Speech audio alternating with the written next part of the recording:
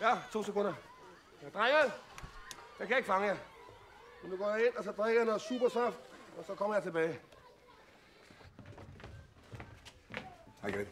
Hey, Lukas, kom lige og sæt dig ned. Hvordan går det med lille Markus?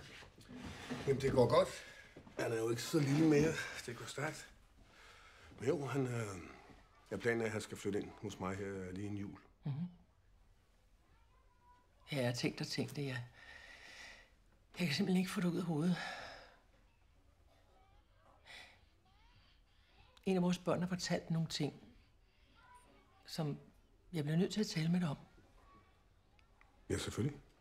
Jeg ved godt, at barnet har en livlig fantasi, men, men jeg vil nu lige nævne det for dig alligevel. Ja, ja, selvfølgelig.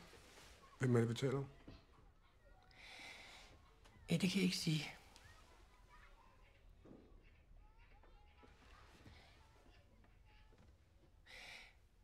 Barnet siger, at der er sket ting imellem jer, som normalt kun bør ske mellem voksne mennesker. Hvad er det for nogle, hvad er det, hvad er det der er sket? Barnet siger, at han, hun ikke kan lide dig, og øhm, at, ja, at han, hun har set dine kønsdele.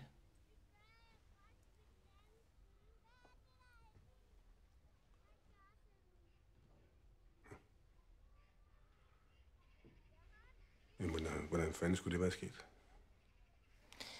Ja, det ved jeg ikke.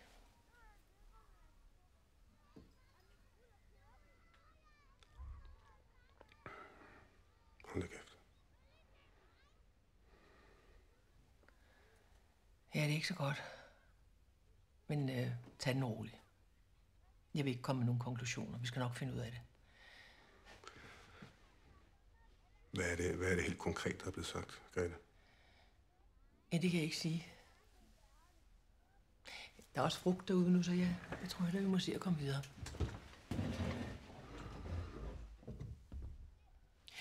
Måske det bedste, at du tager fri på dage, ikke? så kan vi få det her på plads sådan stille og roligt.